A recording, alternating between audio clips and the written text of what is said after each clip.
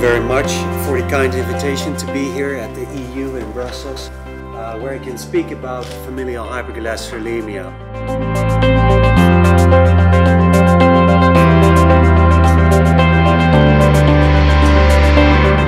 It's a deadly disease if it's not cured, and we do have the means to take care of the patient. During the course of my university, I never heard about familial hypercholesterolemia. So it's a disease which is not very well known by the doctor. I don't feel that enough has been done uh, to, in Europe to prevent FH. We need to have a strategy across Europe for FH and we also need to raise awareness for FH.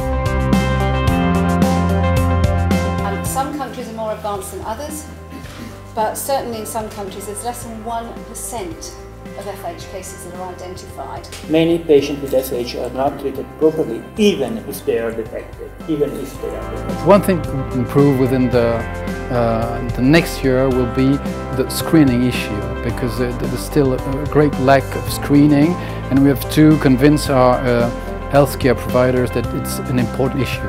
Et je pense que là, il faut vraiment qu'on se bouge tous, tous ensemble en Europe, pour pouvoir euh, médiatiser cette maladie qui peut vraiment être grave et qui peut tuer. Il faut vraiment euh, retenir qu'elle peut tuer des gens jeunes. I think the most important thing is that we should identify those individuals at a young age because then you can really dodge the bullet. We have 19 European countries in the network and that is growing.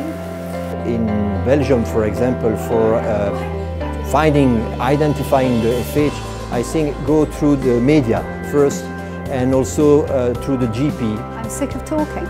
We've done it. Let's now take some action and actually find those patients, identify them, find the families and keep the families together. Let's not lose any more people unnecessarily.